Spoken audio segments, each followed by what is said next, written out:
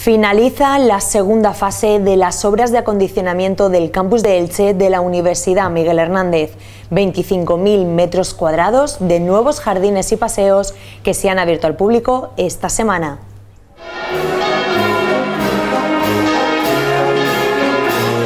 Y al son del pasodoble El Abanico, la vicerrectora de Relaciones Institucionales de la UMH, María Teresa Pérez Vázquez, desfilaba por las calles de Elche camino de la Basílica de Santa María.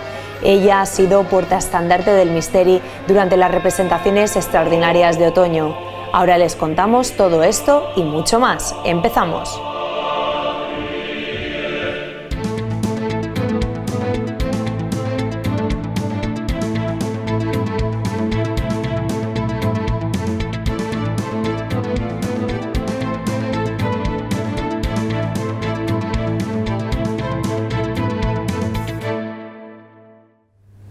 Más de 300 alumnos han asistido al Congreso de Estudiantes de Farmacia de la Universidad Miguel Hernández. Conferencias, talleres y visitas a laboratorios farmacéuticos que tienen como objetivo introducir al estudiante en el mundo profesional.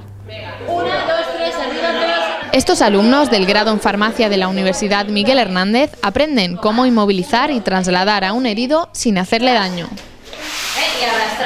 Tiene fuerza, yo con él no podría. Y estos otros están preparando cremas para las manos y velas aromatizantes en el taller de tecnología farmacéutica. Son participantes del decimosegundo Congreso de Estudiantes de Farmacia de la UMH, que se ha celebrado en el campus de San Joan de Alacant. El objetivo de este encuentro, al que han asistido más de 300 alumnos, es aprender aspectos relacionados con su profesión, que no suelen formar parte del currículum docente. Tienen que desarrollar capacidad de gestión organizativa, de búsqueda de, de, sponsores, de dinero. Eh, quiero decir, aparte del programa científico en sí, que está muy completo y creo que es muy interesante, pues les vale para adquirir una experiencia que yo creo que les va a ser muy útil en el futuro. El Congreso se divide en conferencias donde los expertos les ponen al día de la actualidad del sector y talleres de todo tipo, donde se incluyen también visitas a laboratorios de farmacia de empresas y de hospitales. A mí, de hecho, las que más me han gustado son las que nos orientan un poco a nosotros, hacia nuestro futuro. Han venido gente de farmacia comunitaria, de industria cosmética, del FIS, sobre todo porque ahora digamos que estamos todos un poco perdidos, ¿no? Y, y, en fin, así también te orientan un poco. Durante el Congreso de Estudiantes de Farmacia de la UMH se ha organizado una recogida de comida solidaria en colaboración con la Cruz Roja, una donación de sangre y también el Pharma Party, un concurso por equipos que solo busca diversión. Darse a conocer en el mercado laboral depende en muchas ocasiones de lo que digan de nosotros las redes sociales. En Descubre con la UMH les contamos algunas claves para elaborar nuestro perfil profesional.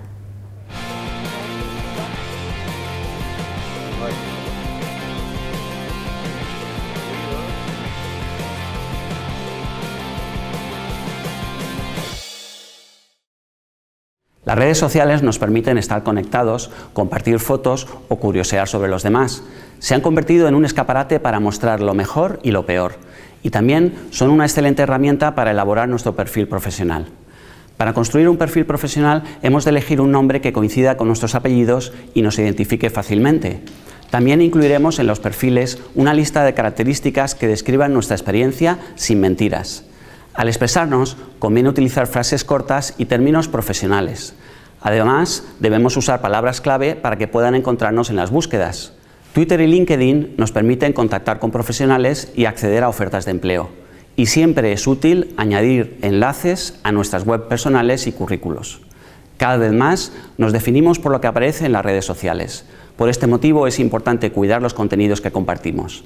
El estilo, la educación y la claridad influirán en la impresión que podamos causar en futuros clientes o empleadores.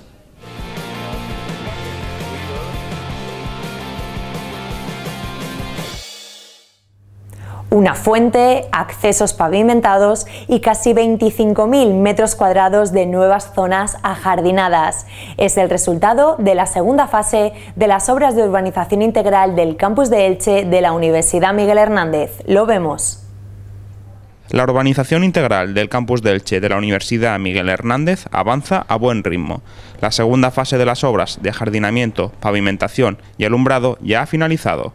Son 25.000 metros cuadrados en el entorno de los edificios de Altavix, Torre Gaitán y Torre Bahillo.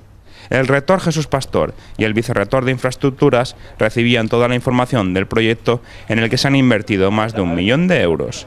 Hay zonas pavimentadas para el paso de vehículos de mantenimiento y emergencias, un nuevo sistema de alumbrado con luces LED, grandes zonas ajardinadas con especies autóctonas fáciles de mantener, mobiliario urbano y esta fuente ornamental, la primera del campus de Elche.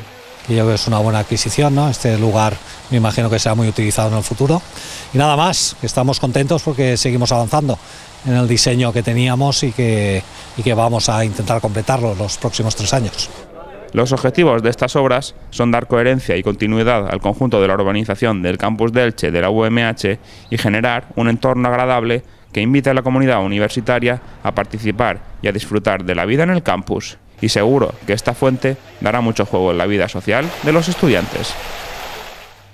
Nueva sesión del taller Cultura Lab de la Universidad Miguel Hernández. Esta vez enseña a los escolares a intervenir en el espacio a través de instalaciones artísticas. Este taller pone en práctica el espíritu de la exposición Puenting que se puede visitar en la sala Universitas de la UMH.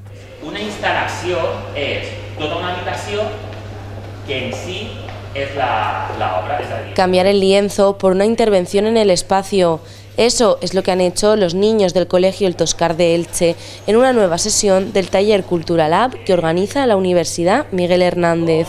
En esta ocasión aprenden a hacer instalaciones artísticas como la realizada en la exposición Puentín, la última muestra de la Sala Universitas. Los niños están haciendo toda una instalación artística en miniatura. Para ello están utilizando una caja de cartón como si fuera la propia instalación y en ella están eh, utilizando todos los elementos que, que les hemos ofrecido y aparte los que ellos mismos improvisan sobre la marcha. Témperas, confeti o rotuladores sirven como herramientas y como inspiración la fiesta de Halloween. Una casa de Halloween eh, destrozada. Una casa del terror que ha pasado mucha gente y ha muerto. Y vamos a hacer como una alfombra roja y va a estar el chico de la casa ahí dentro a mí me gusta mucho porque veo la creatividad que tienen los niños, dejas expresarse, hay veces que en el colegio se queda un poco limitado y esta es una actividad que se complementa con todo lo que hacemos en el colegio. Al finalizar, los niños se llevan una foto de su instalación para colgarla en clase. Una vez más, los talleres de Cultura Lab de la Universidad Miguel Hernández descubren la trastienda del arte y lo hacen de una forma divertida. En nuestra sección Gente UMH, hoy les presentamos a un catedrático de nutrición de la Universidad Miguel Hernández con una pasión que no oculta, el judo. Nos referimos al profesor Enrique Roche y su doble vida entre el laboratorio y el tatami.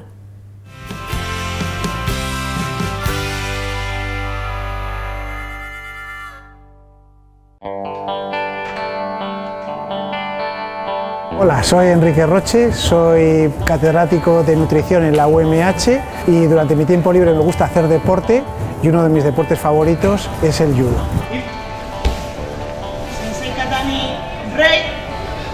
Empecé el judo cuando era muy pequeñito, a los 10 años, me apuntó mi padre en una actividad extraescolar y me fui enganchando, me fui enganchando hasta ahora que ya tengo 56 años. O sea que es toda una vida dedicada al, al judo y a este arte marcial. Soy ahora actualmente cinturón negro tercer dan. Yo entreno todas las mañanas, entonces voy alternando día carrera y otro día sería el entrenamiento en el gimnasio. Este tipo de ejercicios me permite, sin recuperar, pues mantener un poco la, la respiración y el ritmo cardíaco alto.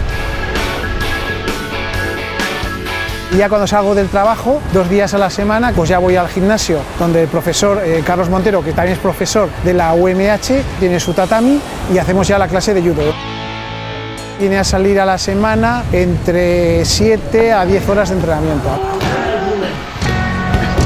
Bueno, yo he sido un competidor modesto, pero bueno, he hecho mis pinitos. En los campeonatos regionales hemos conseguido pues, medallas. Estuve compitiendo en Estados Unidos, gané algún campeonato de algún, del estado de, New Jersey. Eh, en Ginebra gané el Open de Ginebra en la final contra un, un japonés.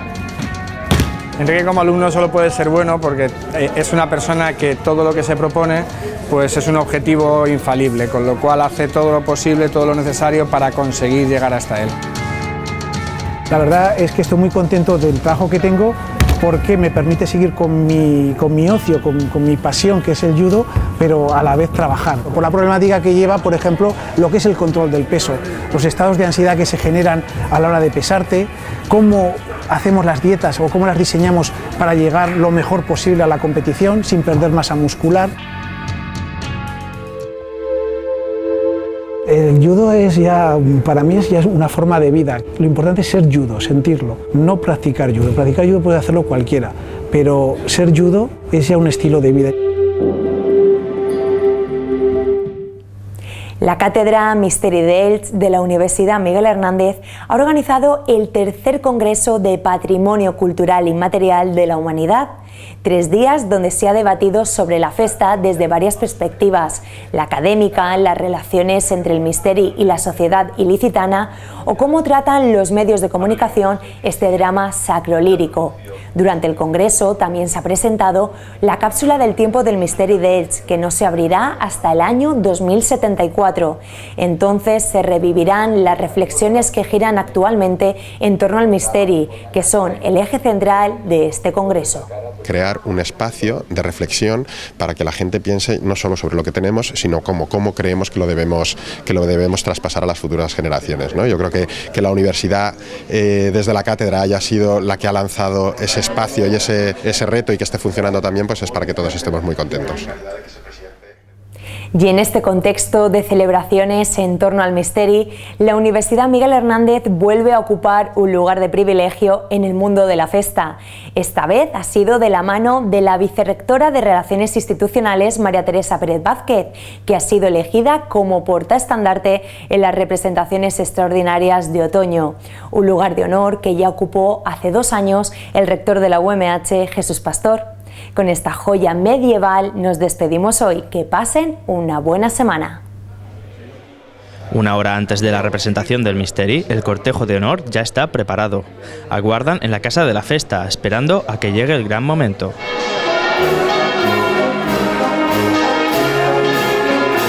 Cuando apenas faltan 5 minutos para las 10 de la noche, las campanas replican y los acordes del paso doble El Abanico anuncian el comienzo del Misteri. La vicerrectora de Relaciones Institucionales de la UMH, María Teresa Pérez Vázquez, forma parte del cortejo al ser este año portaestandarte. La acompañan como caballeros electos los directores de las universidades CEU y UNED de Elche. Presidir esta representación es un privilegio reservado a aquellas personas que tienen una relación especial con Elche y su festa para cualquier ilicitano poder ser portaestandarte del Misteri pues es algo que todos deseamos. Y que llegue este momento y que yo pueda estar aquí pues lo llevo muy muy profundamente metido en mi corazón. Estoy emocionada. Yo creo que va a ser un Misteri muy diferente a todos los que he vivido hasta ahora. Y bueno, te lo estoy contando y se me está poniendo la piel de gallina porque de verdad que me parece algo grande, algo único y algo de privilegio auténtico. Ver la representación del misterio desde el lugar de honor que ocupan los miembros del cortejo junto al cadafal es un privilegio que pocas personas tienen, sobre todo en escenas multitudinarias, como la judiada.